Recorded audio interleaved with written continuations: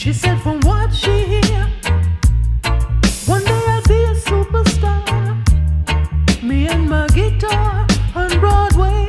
She said potential is all I